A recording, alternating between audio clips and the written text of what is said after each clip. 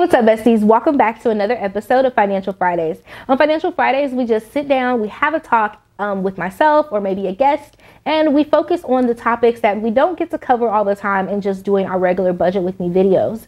I hope that you find this series to be helpful. Please make sure that you share the videos, go back and watch them again if you have any questions, and as well as leave me topic suggestions down below in the comment section.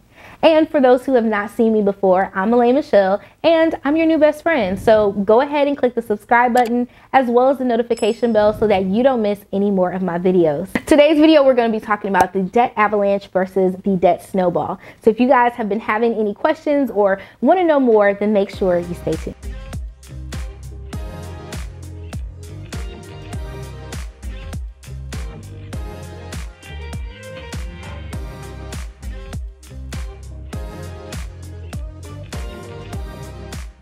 All right, I laugh every time I talk about the debt snowball versus the avalanche method because that's literally how Shay and myself met. And she slid in my DM. She was like, Why did you do this method versus this one? I was like, Hold up, wait a minute. who are you?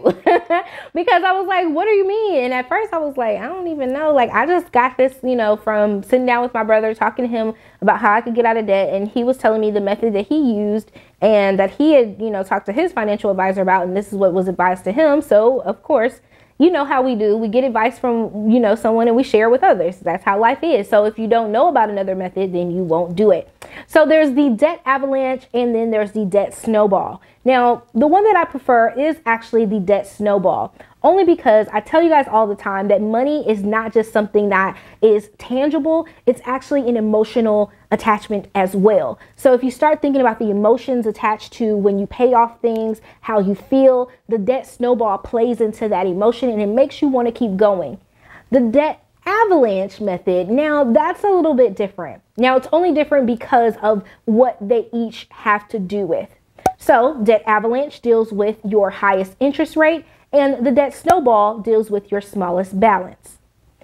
The difference between the two, again, interest rate, smallest balance.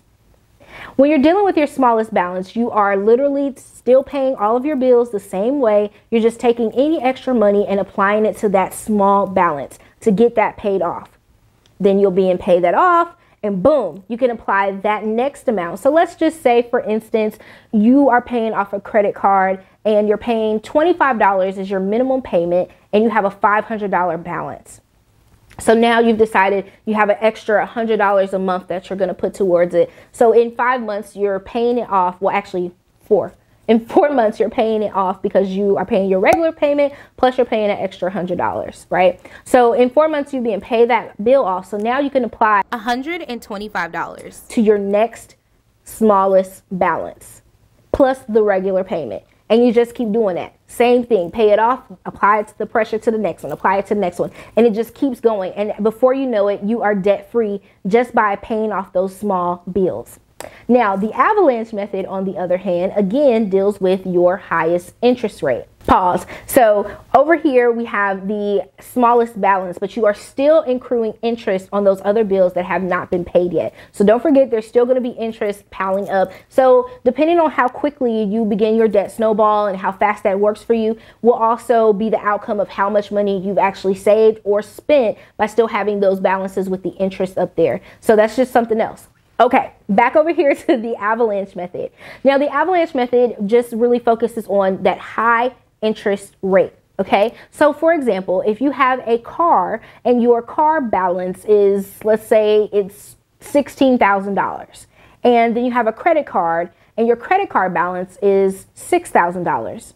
Your car balance has an interest rate of 3.7 and your credit card has an interest rate of 16.9. Which of those bills are you going to pay first based on the avalanche principle? You're going to be paying your credit card. So, although it has the smaller balance, it does have the higher interest rate. So, you want to attack that one first, getting that high interest rate out the way so that in turn you're able to save more money on the end because you have paid that quicker and you've gotten rid of having to pay any extra interest on that particular bill.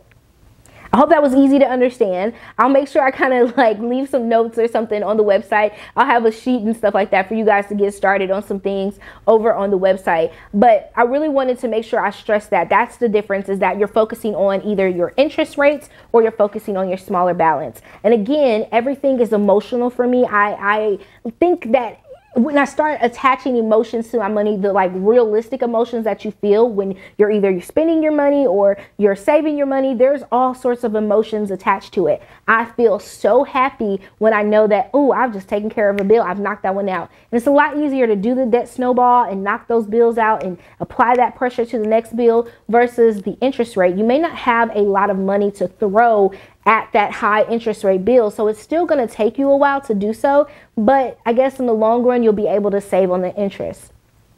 I chose the debt snowball method after I did some um, debt avalanche methoding. Um, I did that because I had like a bonus check and I also had taxes to come back. So I was able to take care of large chunks of bills. Like I was able to just knock out the bill with the highest interest and move on with my life.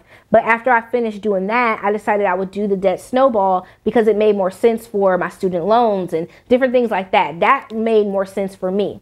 So you can determine which method makes more sense based upon your financial situation. Again, I highly recommend you using the debt snowball. It's just a lot more motivating for you to use and it just keeps you going because you know and you can see your progress versus the debt avalanche. You may not be able to see your progress right away. In fact you may see your progress in the end versus seeing it along the way. You'll just see it when it actually happens. And that's okay too. You just have to pick the method that works best for you over on the website, I'll have a link down below so you guys can get into the debt snowball worksheet that I have. It's a whole spreadsheet that all you have to do is plug and play, put in your numbers. It'll tell you how long it'll take you to be debt free, all of that. Like it's super duper easy and it's an Excel or Google Sheets worksheet that you guys can get. And all you have to do is go to the website down below and click on there and you can download it. If you have any questions, make sure that you leave them down below in the comment section. If you have other topics you want to talk about, make sure you leave those as well. We're going to be having some guests. I'm really excited, you guys, because Financial Fridays is really coming along. And I'm so, so, so excited that you guys are excited about it. That was the comment section like, girl, yes, here for it. Yes, ma'am. So let me know what you guys want to do for the next topic. And I'll be sure to try to leave more information again on my website so you guys can have things to read, have things to reference, so that you're not just hearing it from me, you can hear it from other people. I think that's what works the most. Let me know what you guys think down below in the comment section. Which method are you choosing to use? Is it the debt snowball or is it the debt avalanche? Still thinking about how Shay slid in my DMs. I think that is so funny. But anyways, you guys have a wonderful night and I will catch you on next Friday's Financial Friday. Mwah. KK, bye.